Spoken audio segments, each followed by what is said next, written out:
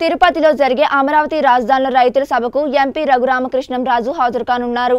ఈ సందర్భంగా ఆయన చిత్తూరు జిల్లాలోని రేణిగుంట విమానాశ్రయానికి చేరుకున్నారు. నూటికి నూరు శాతం రాష్ట్ర రాజధానిగా అమరావతినే ఉంటుందన్నారు వైసీపీ నరసాపురం ఎంపీ రఘురామకృష్ణం రాజు. బొత్స వ్యాఖ్యలకు బాధపడాల్సిన అవసరం లేదన్నారు. దగాపడ్డ రైతుల సభ వాళ్ళ వ్యధను అర్థం చేసుకున్న ప్రజలందరూ కలిసి వారికి మద్దతు సభ. అందులో రాజకీయ నాయకులు ఉండొచ్చు ప్రజా నాయకులు ఉండొచ్చు అందరూ ఉండొచ్చు. సార్ ఈ సభ తర్వాత అమరావతి గురించి మాట్లాడేవారు ఉండరనేసి సోషల్ మీడియా ద్వారా వైసీపీ వాళ్ళు ప్రచారం చేశారు. నిజమే? ఈ సభ తర్వాత మూడు రాజధానుల గురించి మాట్లాడేవాడు ఉండడు. ప్రభుత్వం కూడా పోలీస్ సెక్యూరిటీ ఇచ్చింది దాడి చేస్తారని చెప్పారు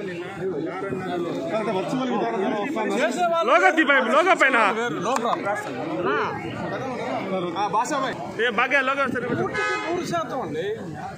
నూటికి నూరు శాతం న్యాయపరంగా అమరావతి రాజధానిగా ఉంటుంది.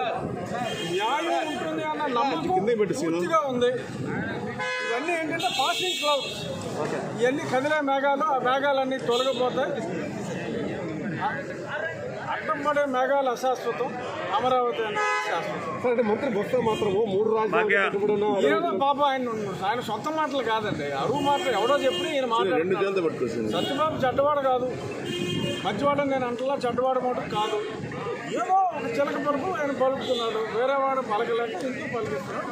ఓకే పాప ఆయన చూసి జాలి పడాలి తప్ప ఆ మాటలు విని మనం బాధపడతాం సార్ ఈ సభ ద్వారా ఏం చెప్పదలుచుకున్నారు ఏం చెప్తాను అక్కడ చెప్తాను ఇక్కడ